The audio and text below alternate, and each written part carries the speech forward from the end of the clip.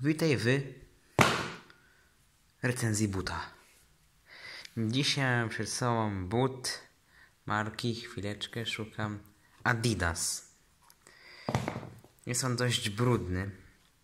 Jeszcze jest mój but mojego brata. Yy, No bo tak. Je- Jego rzepy strasznie hałasują. Można to poczuć. Są też przy okazji bardzo ciężkie do oderwania. Zakleją się może dosyć prosto, jak ciężko jest je odkleić. But ma rozmiar. Nie widać niestety rozmiaru. Na tym bucie widnieją trzy białe paski, co może oznaczać, iż ten but został wykonany 3 lata temu i został, do, został udostępniony do sklepu dopiero dzisiaj. Możemy także zauważyć, gdyż ta podeszwa posiada dziurę. Ta dziura może być niewygodna, gdyż może przeszkadzać też w chodzeniu oraz w wygodności stopy wewnątrz buta.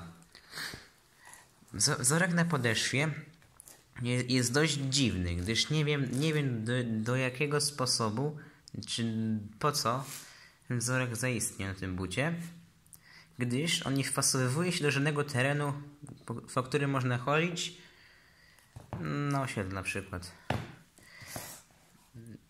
Ten but jest wykonany ze skóry, gdyż widać, że gdyż on się błyszcza, tylko skóra się błyszcza oraz parę innych sztucznych stworzyw.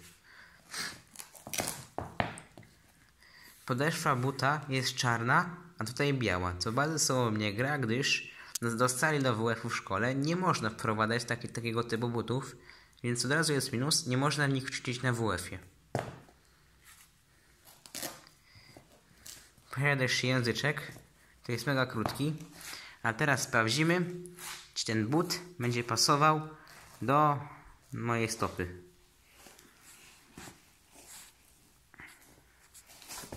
Jak widzicie nie pasuje, więc to jest po prostu bullshit.